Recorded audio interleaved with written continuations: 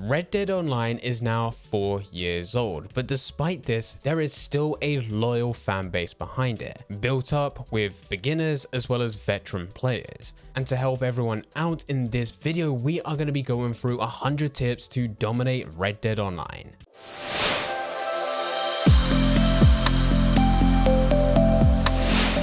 All the tips that we're going to be going through within this video will hopefully take you from first starting this game to eventually being rank 100 having hundreds of thousands of dollars as well as a sufficient amount of gold for you to purchase into any of the content that is available. So starting off number one play through the red dead online stories. This is the introduction to the game. But more importantly you'll also get money as well as gold which will help you buy into some of those starter items and eventually build towards buying into a role. Speaking of roles number Number two, the first role that you should buy into should be the bounty hunter. It costs 15 gold bars, but it's the only role that will actively give gold. All roles link into daily challenges, but the bounty hunter is the only role that will actually give gold for every time that you bring in a bounty dead or alive. Number three, go through the blood money missions. They cost nothing to enter, you just need to go over to Saint Denis and start the cutscene. But after that, you will get access to blood money missions. Number 4. Avoid the prestigious bounty hunter right at the beginning. The license will allow you to unlock more content for the role, but it's not going to give you an increase on what you can get with payouts,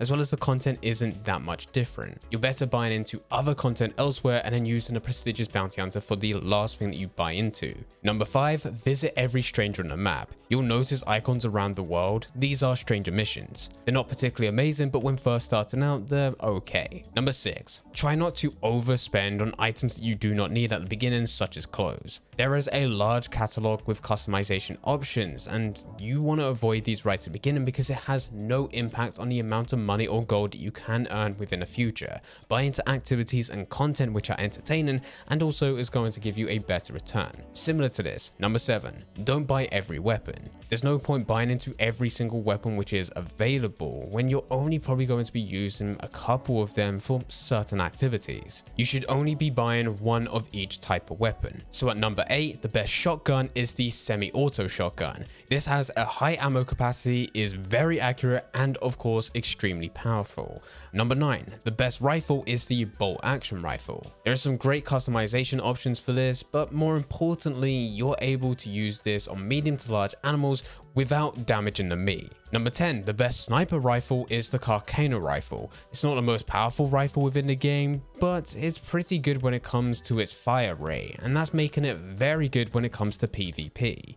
Number 11, the best repeater is the Lancaster repeater, and simply the most popular weapon within the game. Number 12, the best sidearm is the naval revolver. This weapon is perfect and does everything you expect a revolver to do.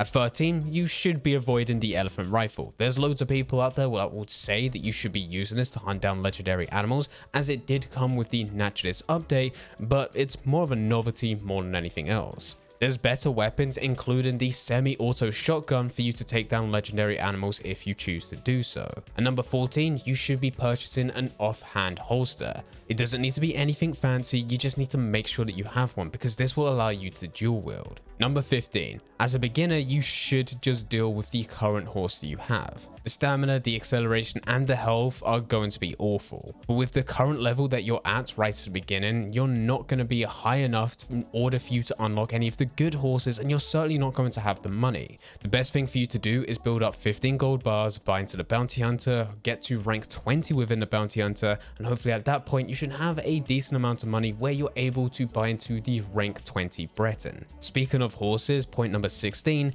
you need to start upgrading them and the best saddle to go for is the Nacogdoches saddle. It has a benefit with health as well as stamina, which will make your horse even better. Number 17, the best horse stirrups are the hooded stirrups. They're slightly more expensive, but you can clearly see the benefits. Number 18, make sure you get all your roles to the maximum level. This of course is going to take some time, but by doing this, you will be able to get the most benefits. This includes all the skills and unlocks which are available. Number 19, learn the payout system within the game. Unfortunately, with Red Dead, the faster that you complete a mission no matter what it is, the less money, gold and XP you'll be rewarded at the end. But the longer it takes, the more you're going to be able to get of these. So that means take your time when going through missions. Normally I wait until the last 30 seconds before completing. Number 20. When going through the bounty hunter, try to complete the highest possible tier which is available to you. This is signified by the dollar symbols at the top. $1, tier 1, $2, tier 2, $3, tier 3. Number 21. For you to get the maximum payout within the legendary bounties, you'll need to wait 30 minutes. But the good thing is that you can spend your time doing other activities such as hunting animals and storing them within your hunting wagon in order for you to make this time pass quickly. Number 22. Purchase the bounty hunter wagon. This is more for those that are looking to be solo players because in order for you to get the most money from the role, you really want to be going for the 6 man bounties and there's no way that you can put them on horseback. Number 23. Purchase the reinforced lasso. This will allow for enemies to be hogtied for a longer period of time. Now you can knock out enemies no matter what lasso that you're using, but this will also count as them being dead when you hand them in, even though they are just knocked out, and you'll get the payment of them being alive. It's weird. It's a bit of a bug. Number 24. Have your moonshine shack located in bayou or tall trees. These two locations are decent areas and have the easiest delivery routes. Number 25. Complete the Moonshine story missions. Not only are these the best missions within the game, but they also give out pretty decent XP and money. Number 26. Purchase the bar and band expansions for the Moonshine Shack. These expansions in themselves don't do anything too special, but you will have a number of daily challenges which are connected to them, so they pay for themselves in the long run, especially with the amount of gold that you're able to get. Number 27. Make sure you purchase both condenser upgrades for the Moonshine Role. This will result in over $200 profit in every single delivery. Number 28. Always use the berry cobbler or appleberry crumb moonshine recipes as they're the easiest to make and as long as you set up the correct locations, your supplies are everywhere around you. Number 29. Make sure you're always producing moonshine. It's not difficult to have the moonshine roll up and running. You just need to talk to Marcel and order moonshine mash. Now you just need to go back every 50 minutes to make sure that you are completing the delivery. Number 30. Hunt legendary animals for the trader role. Don't try and get the normal animals within the world because they're not going to be adding too many materials.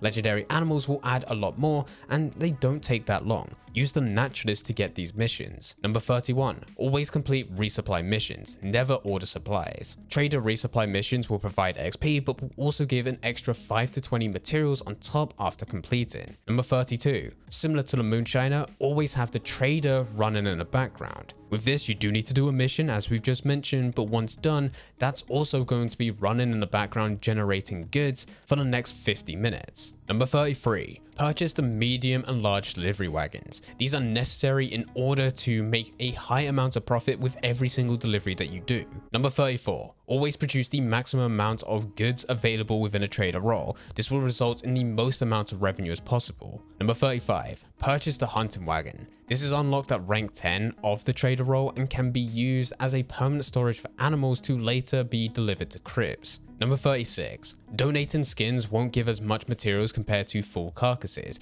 Even if it's the exact same animal broken down into separate components, it's just not as much. Deliver full carcasses. Number 37. Purchase the stew It may seem like a pointless purchase, but you will be able to restore your cores. Plus, on top of that, there is normally daily challenges which will provide gold for you completing certain types of stews. Number 38. Purchase the fast travel post at your camp. This will save a lot of time. You still need to pay for it, but a lot of time will be saved. Number 39. When hunting small animals, use varmint rifle to ensure the quality of the animal doesn't decrease. Number 40. When hunting larger animals, headshot them with a rifle to ensure that the quality stays the same. Number 41. When going through the collector role, don't buy collector maps, instead use the Jean Ropke map to find all collectible locations. Number 42. Purchase the naturalist role last. There's not much money to be made within this role, so it's best to save it to last while you work on other activities.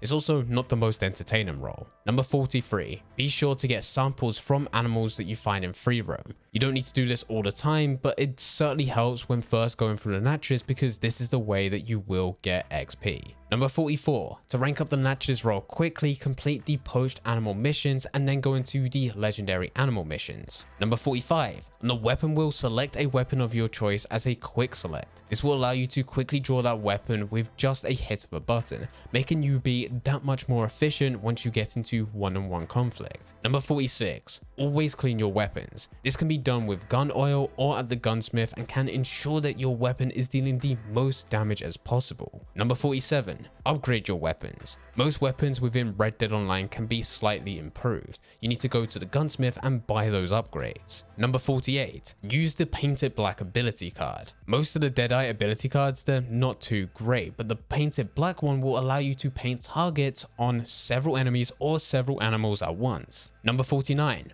Remember to upgrade your ability cards. It can be expensive when going through it so you don't want to do all of them but once you're happy with the ability card selected, you should be upgrading them. Number 50. Aiming from the hip with your weapon will allow you to rapid fire. This comes in handy in close combat. Number 51. Be sure to complete your treasure maps. These can stack up over time, especially once you start to get to a higher rank where you just forget about them, but you will be able to unlock them every 5 levels once you reach level 10. Number 52. Remember to reset your awards. Some of these awards can be reset 10 times and every time they will be able to give you 40 gold nuggets and some XP. There is one within the bounty hunter when you get 10,000 XP which can be reset unlimited. There is no cap. Number 53. To quickly lose or gain honor, you can head over to Old Man Jones and pay 3 gold bars. Number 54. In the quick menu, you can select default horses for races, story missions, and free roam events. Number 55. To auto travel to a destination, set a waypoint and then enter cinematic mode. This will automatically take you to the location that you selected. Number 56. You can make sure nobody takes your horse by changing the access permissions in the quick menu. Number 57. You can make changes on customization options at a later day. For example, you can rename your horse at the stables anytime. Likewise, you can also change your character's appearance through customization within the quick menu. Number 58. You can change your outfit on your horse. Depending on the saddlebags, you can have up to 7 outfits stored. Number 59, as you bond with your horses, you can perform tricks and your horse's stats will improve. The overall goal is to get it to level 4 bonding, which is the max. Number 60, calming your horse will increase your horse's stamina. Number 61, you can use hair pomade to change your character's hairstyle. This is more for those that are looking for a few more character customization options. Number 62, by opening the player tab within the menus, you can see your player statistics. And there may be something wrong with your character which is affecting one of their stats which you didn't know about before. Number 63, certain outfits will make your character hot or cold depending on the weather as well as location. Make sure that you have a variety of outfits for different weather conditions. Number 64, your cores won't drain when you're at your camp. So if you're in a position where you haven't got much money, so you can't buy into food and you're struggling with hunting, you could just go over to your camp and wait there for a bit. Not only will they not go down, but they'll also slowly regen. Number 65. NPCs will react to your emotes. They could either be nice reactions or bad reactions, and depending on the day, you may even have a daily challenge which requires you to do this. Number 66. Don't purchase the lockbreaker. It's used to break locks stealthily so you don't need to shoot them, but let's be real, just shooting them really isn't much of a problem. Number 67. It helps to purchase items from the handheld catalog which will then be sent to your camp rather than you having to go to the closest store. Number 68. Any items at the post office can be picked up from your camp lockbox or the post office. It doesn't need to be one or the other. Number 69. If you have GTA Online, you can get a free revolver. This is Larry's revolver. You will need to go to GTA Online to complete the slasher events. You'll then need to kill 50 NPCs and then you can head into Red Dead Online where you can find Larry's revolver. Number 70. Do not purchase the pocket watch. This can be collected for free around the world and, well, it's a pointless purchase at the end of the day. Number 71. You can clear your bounty by going to the post office to pay it off or you can even just pay it off at your camp. Number 72. In the game's controller settings, turn on hold to reel for fishing. This will make fishing much easier as you don't need to use the analogs to go round in circles, you can just hold down the button. Number 73. Don't worry about role tokens. You'll have the exact amount that are necessary to unlock everything within the game, so there's no choice. Number 74. If you bought into way too many weapons, purchase the weapon locker. This will remove weapons from your horse as you store them at your camp. Number 75. If your hat falls off, you can put it back on through the weapon wheel when you're on your horse. Number 76. You can play with friends by forming a posse, but when you go into certain missions, they'll only allow for 4 people, not the maximum of 7. Going off this, number 77, legendary bounty missions will only allow you to have 4 people. Now this makes life a hell of a lot easier, especially considering legendary bounties increase in difficulty every single time that you complete them. Number 78, standard bounties will allow you to have 7 people as the maximum amount of players, so the maximum amount of people that are part of your posse. And this makes life incredibly easy because the highest amount of bounties that you can get at one time is 6. So not only will there be more than enough for one bounty to go on back of one horse, but you also have one other player left over. Number 79. Be sure to loot as much as you can, whether that be buildings or bodies. More often than not, some tonics will be around there and you can get some very expensive items with collectibles being part of it. Once you complete a collector set, well, you're going to be getting a decent amount. Number 80. Instead of spamming an item in the catalog to purchase it multiple times, hold down the button to use the purchase and it will purchase the maximum amount available. Number 81. If someone catches you with a lasso, open a weapon wheel and equip your knife and this will instantly let you free. Number 82. During PvP, don't stand still as this will make your position completely visible to all players. If you are going to stand still, make sure that it's behind cover where no one can see you, where you can give them a surprise attack once they get close enough. Number 83. During horse races, PvP is enabled, which means you need to be careful but also use it to your advantage. As a bonus tip, don't try and shoot the player, try to shoot the horse. Much bigger target and it's easier to take them down. Number 84. If you're going to be going through horse races, the best thing that you can do is stay back, at least until the end. Very similar to GTA Online where catch up is available, Red Dead Online has the exact same thing, but Red Dead doesn't have the ability to turn this off. So with every single race that you go through, it's always going to be the same. This means for the majority of the race, the worst thing that you can do is be first until the last leg. Number 85. If an Outlaw Pass is active, you can wait until you complete the free pass in order for you to then buy into the premium version. The ranks are exactly the same and they're going to cross. You don't need to go all the way to the maximum rank again. Number 86. Once you hit character rank 100, there's no need for XP anymore. You'll need role XP to progress through those, but after that, it becomes pointless. Number 87. Never purchase gold bars. Rockstar does make Red Dead a bit of a grind so that they can sort of nudge you into buying gold bars, but it's a complete waste of your hard-earned cash.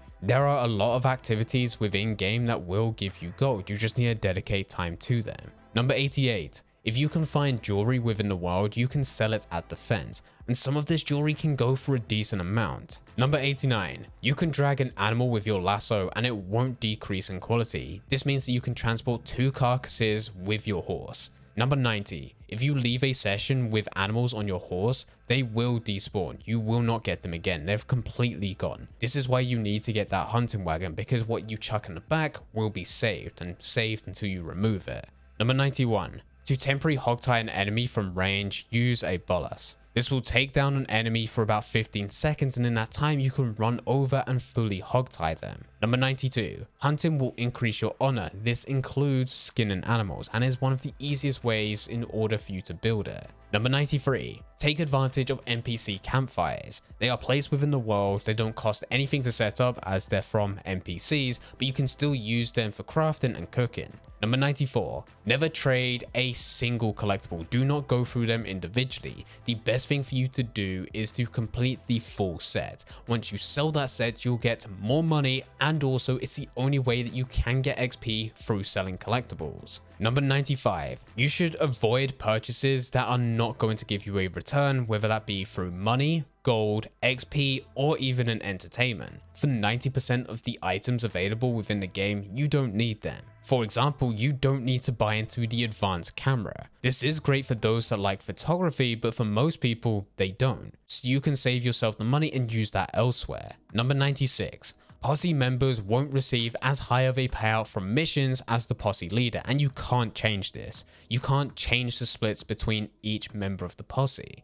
So the best thing that you can do to keep everyone split equal is to keep changing posses between your friends group. Number 97. Posse members can partake in missions for roles that they don't own. So if you have a friend that has only just started and they want to earn some gold, the best thing that you can do is start a posse as the posse leader and invite them to legendary bounties or tier 3 bounties. That way you're able to get gold from them and they can start building up their gold to eventually buy into the roles that they need. Number 98. Never hunt with a shotgun unless it's a legendary animal. Every animal has a 3 star system and it's random what they spawn in as, but if you take multiple shots at an animal, that star system will instantly go down to 1, which means it's the worst available. But with legendary animals, it doesn't matter. They just have an overall health. They don't have the 3 star system. So by using a shotgun on them, you're able to take down that health a lot quicker than if you used any other type of weapon. But with that said, don't take this to the extreme, and this is number 99. Don't use anything with fire, anything that's explosive, or anything such as an incendiary round. This will degrade the quality of the animal and if it's a legendary animal, it will just take it away from you. You will not have the ability to skin it, pick it up or anything. It's just gone. And number 100, make sure that you're always checking the current monthly bonuses and discounts in order for you to maximize the profit and purchase certain items which are discounted. Even though this is not the content that most people want, it will make life a hell of a lot more easier for you as a beginner you will be able to get things at a much better price, which will put you in a better position within the long run. But here you go. Here are 100 tips to help you dominate within Red Dead Online. As a beginner, this really should help you get going. If you do have any questions, please feel free to leave them in the comment section down below. And if you want a step-by-step -step guide on how to start Red Dead Online, then make sure that you click the video which is now on screen. But before you do that, make sure you hit that subscribe button and turn on notifications. Okay, now that that's done, you are ready to click that video.